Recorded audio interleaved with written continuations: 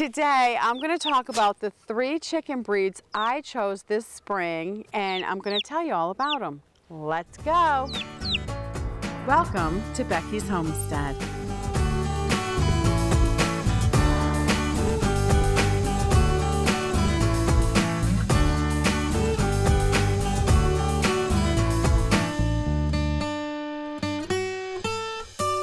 Here is a little red sex-link chick.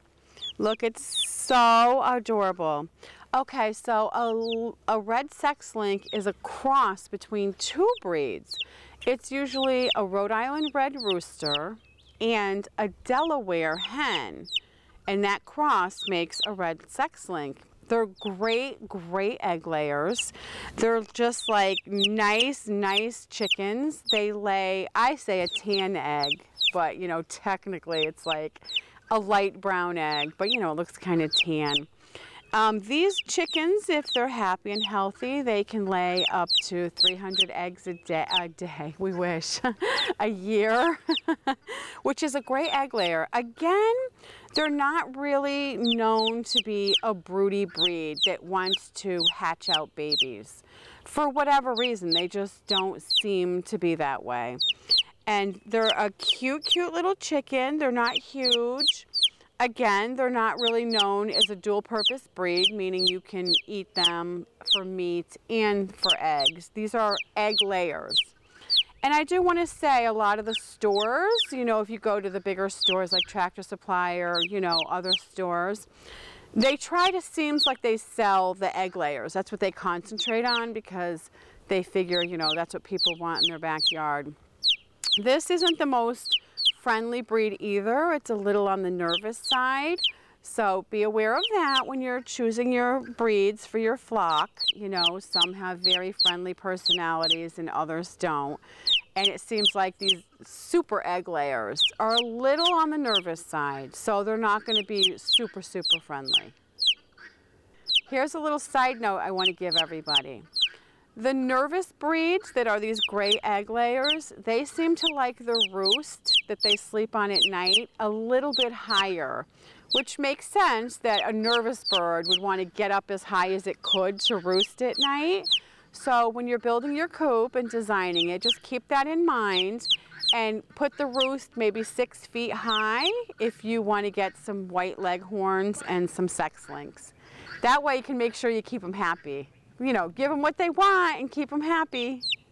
Okay, so this is a little bantam, which are so, so adorable. Bantams are like little mini chickens. They're very, obviously mini, they're very small in size. And they lay cute little tiny mini eggs, of course, because they're so small. The eggs are completely safe and edible. But one thing to keep in mind is that they don't seem to be fantastic egg layers. In fact, you know, they might be medium to low in the output of eggs that they lay. But if you want to just like spruce up your coop and just have some cute little interesting birds, bantams are a great choice, you know, for have fun with your chickens. And there's a lot of show chickens are bantams just because they're very like animated and they're just have great colors a lot of the breeds and bantams come in almost every breed. You can get a little mini bantam. So you can have so much fun if you want to just have more of a pet. Chicken that's what you're into but you know you do get a few eggs. Bantams are a good breed to choose. Here's a little white leghorn chick. Um, this breed is used throughout the world in a lot of countries as an egg layer. These are awesome, awesome egg layers. They lay a medium to large white egg. And they, if you keep them happy and healthy, they can lay up to 320 eggs a year. They're one of the best. So if you want to keep your chickens, your backyard flock, strictly for egg production, a white leghorn is a fantastic choice. I want to say that they are more of a nervous chicken breed, so they're not a friendly, lovey-dovey chicken. Um, they are flighty. So, you know, if you want them to be like more of a pet and a friendly type chicken, this wouldn't be the breed for you. But if you want eggs, eggs, eggs, a white leghorn is awesome. Also, they're not really a broody breed because I guess because they're on the nervous side and they're just all business laying those eggs. They don't want to hatch them out. So, you know, that's fine for me. You know, you don't need tons of broody hens. So, it's a great chicken breed to choose. I do want to say they free range well if you want to let them out of your coop. The only thing you have to keep in mind is being white in color, that they're very easy for the predators to spot on the ground and to, you know, pick them off and kill them. So be very careful if you do want to free range your white leghorns. What I want to show you is, I'm going to start from the top and work down. I want to show you the wire lid I made so the little chickens can't escape and also so my cat or anything else can't get in there because you know the little birds moving around in there draw attention. Also, if you keep them outside, like I'm keeping them in my closed-in barn part of my barn, make sure you have adequate heat so the little chicks don't freeze to death. And how you do that is you have to have a thermometer. And right here, I have it on a little piece of my fencing wire, is a little thermometer hooked in there so I can keep track of the temperature. The temperature with your baby chicks, the need for the temperature does go down five degrees every seven days. So keep that in mind. Also, this lamp I have here, I use the fence wire and I attach it to the top so the cat or anybody can't move this. I take my fence wire and I attach it to the lid. That way the cat or anything can't bump this off and cause a fire hazard in my barn. So just keep safety in mind at all times. And then that part's, that part's good. So we have the lid, we have the thermometer, and we have the heat lamp attached so it can't fall off or get knocked off.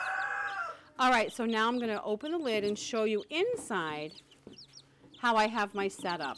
I like the water in the middle so they can go around the water. So it's like the little fountain in the middle. I put it up on a tile because that way when they're picking and scratching, they don't get a lot of the wood chips and sand. Once the chicks are a little older, I do like to use sand on the bottom it just is less messy. The wood chips will fill this up and it'll be very hard to keep it clean. You'll have to, you know, tend to them several times a day. When they're small, it's perfect, but once they get a little older, they're more active. So then I have the food bowl here, and what I like to do, I built this little perch here for the chickens. Even tiny, tiny little chickens love to perch, and it just, adds like natural environment to them even when they're tiny and there's nothing cuter than when I come out and they're all lined up on this perch, all the little babies. I wish I could have a camera in there and get a picture of it because it's the most adorable thing ever. Another thing I want to point out is I do have my little bantam in here with these bigger breeds.